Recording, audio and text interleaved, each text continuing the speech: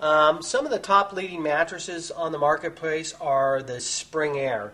Um, Spring Air makes the Four Seasons, and the Four Seasons is a really good bed because they're using natural fiber throughout the bed. They use the individually wrapped coil. The individually wrapped coil makes it so you don't feel movement on the bed. It's a high coil count, so it's able to contour to your body very well.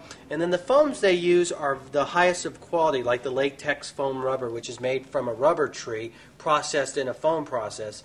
And so that helps gives you maximum pressure relieving in an inner spring mattress. It also uses cashmere in the top part of the bed. Um, and what that does is help to alleviate heat transfer from the foams that are in the bed. So it makes it all natural, makes it so it's less likely to show body indentations.